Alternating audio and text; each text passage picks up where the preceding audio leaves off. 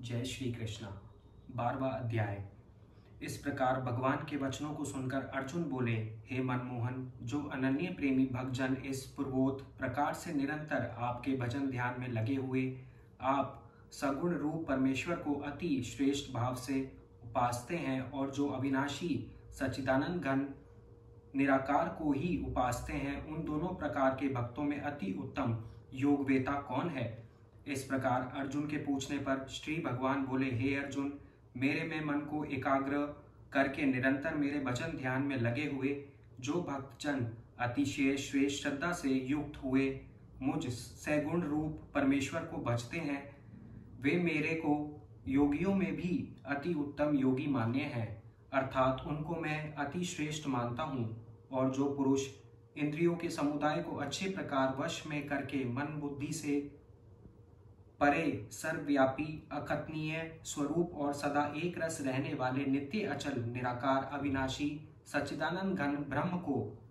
निरंतर एक ही भाव से ध्यान करते हुए उपासते हैं। वे संपूर्ण भूतों के हित में रथ हुए और सब में समान भाव वाले योगी भी मेरे को ही प्राप्त होते हैं। किंतु उन सच्चिदानंद घन, निराकार, ब्रह्म में आसक्त हुए चित्त वाले पुरुषों के साधन में केश अर्थात परिश्रम विशेष है क्योंकि देहाभिमानियों से अव्यक्त विषयक गति दुख पूर्वक प्राप्त की जाती है। अर्थात जब तक शरीर में अभिमान रहता है, तब तक शुद्ध सच्चिदानंद घन निराकार ब्रह्म में स्थित होना कठिन है और जो मेरे प्राण हुए भक्तजन संपूर्ण कर्मों को मेरे में अर्पण करके मुझ सगुण परमेश्वर को ही तेल धारा के सदृश अनन्य ध्यान योग से निरंतर चिंतन करते हुए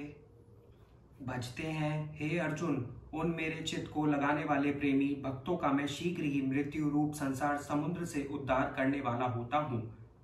इसलिए हे अर्जुन, तू मेरे में मन को लगा और मेरे में ही बुद्धि को लगा। इसके उपरांत तू मेरे में ही निवास करेगा, अर्थात मेरे को ही प्राप्त होगा। इसमें कुछ भी संशय नहीं है। यदि तू मन को मेरे में अचल स्थापन करने के लिए समर्थ नहीं है तो हे अर्जुन, अभ्यास रूप योग के द्वारा मेरे को प्राप्त होने के लिए इच्छा कर, यदि तू ऊपर कहे, हुए अभ्यास में भी असमर्थ है तो केवल मेरे लिए कर्म करने के ही परायण हो। इस प्रकार मेरे अर्थ कर्मों को करता हुआ भी मेरी प्राप्ति रूप सिद्धि को ही प्राप्त होगा। और यदि इसको भी करने के लिए असमर्थ है तो जीते हुए मन वाला और मेरी प्राप्ति रूप योग के शरण हुआ सब कर्मों के फल का मेरे लिए त्याग कर। क्योंकि मर्म को न जानकर किए हुए अभ्यास से परोक्ष ज्ञान श्रेष्ठ है और परोक्ष ज्ञान से मुझ परमेश्वर के स्वरूप का ध्यान श्रेष्ठ है तथा ध्यान से भी सब कर्मों के फल का मेरे लिए त्याग करना श्रेष्ठ है और त्याग से तत्काल ही परम शांति होती है। इस प्रकार शांति को प्राप्त हुआ जो पुरुष सब भूतों में द्वेष भाव से रहित एवं स्वार्थ रहित सबका प्रेमी और हेतु रहित दयालु है तथा ममता से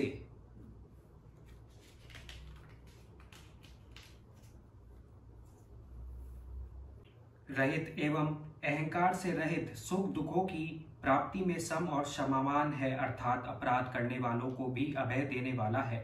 तथा जो ध्यान योग में युक्त हुआ निरंतर लाभ हानि में संतुष्ट है, तथा मन और इंद्रियों सहित शरीर को वश में किए हुए मेरे में दृढ़ निश्चय वाला है और मेरे में अर्पण किए हुए मन बुद्धि वाला मेरा भक्त मेरे को प्रिय है, जिससे कोई भी जीव उद्वेग को प्राप्त नहीं होता है और जो स्वयं भी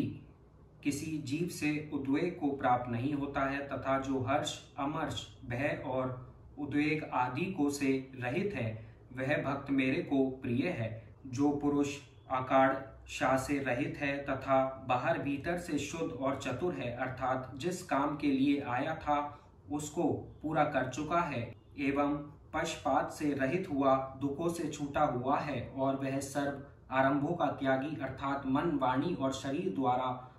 प्रारब्ध से होने वाले संपूर्ण स्वाभाविक कर्मों में कर्तापन के अभिमान का त्यागी, मेरा भक्त मेरे को प्रिय है, जो ना कभी हर्षित होता है, न द्वेष करता है।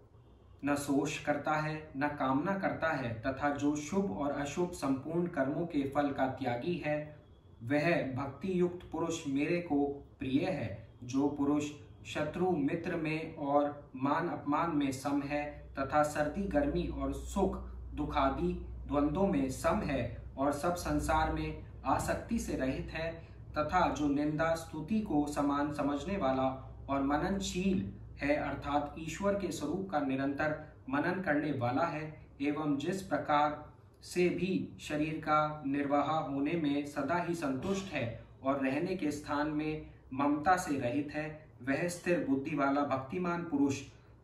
मेरे को प्रिय है और जो मेरे परायण हुए, अर्थात मेरे को परम आशय और परम गति एवं सबका आत्म स्वरूप और सबके परे परम पूज्य समझकर विशुद्ध प्रेम से मेरी प्राप्ति के लिए तत्पर हुए श्रद्धा युक्त पुरुष, इस ऊपर कहे हुए धर्माय